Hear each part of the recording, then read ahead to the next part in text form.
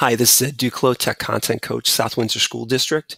And today I just want to take a, a, few minutes and show you how you can create a class template in Google Classroom.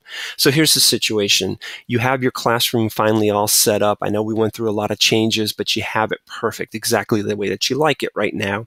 And let's say you teach a half year course. So now you're going to teach another section in the second half of the year.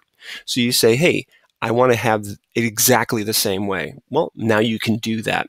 If you come to your Google Classroom and just the classes page, when you click on the three dots, you'll see that it has a copy. And that means that you can actually come in and copy everything.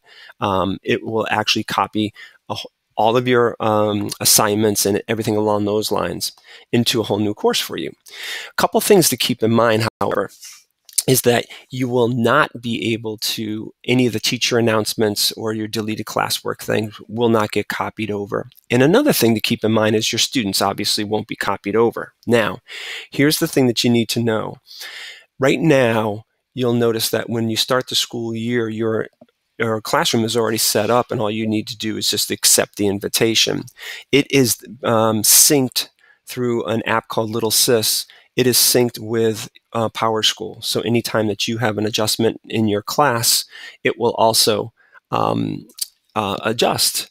Now, you're going to forego that. You're going to have to invite your students manually if you want to go through this. It's not incredibly pain, painstaking, but there is a trade-off. Okay, now if you come back to the original thing, you have your class set up the way that you want it, or maybe you exactly you don't right now, so you want to adjust it a little bit. Um, an earlier video, I talked about how you can set up your classroom. Like for instance, you can set it up by units. You see here, typical unit, unit one, unit two, etc. You could set it up and organize it by week. You could come in here and by type of assignment. Uh, for elementary schools, maybe you decided that it's going to be by subject area, and you can even just have a today topic kind of thing. Okay, but now you have it exactly the way that you want, and you know that you can go ahead and copy it. So here's what it's going to look like. You come in here and you say, I want to copy.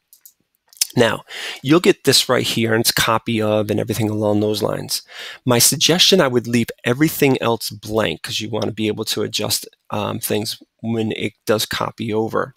It may take a little while, but when you copy it, I'll have a copy of the class. Now, here's a nice thing which you can do. You could actually end up copying it and making a classroom template that this template, and that's what I'm going to call it, is Google Classroom template or class template or something along those lines. Now, anytime that I want to go ahead and set up one of my courses, I always have a template to work from, and then the class template.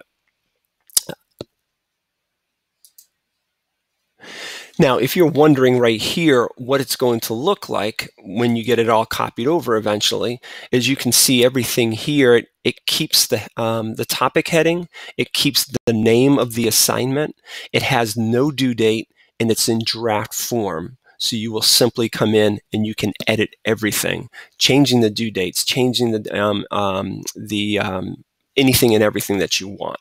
All right. Um, I think that this is going to help a lot of people, especially for this year, um, going from first semester to second semester if you have half year courses, and then keep this in mind, obviously, for next year.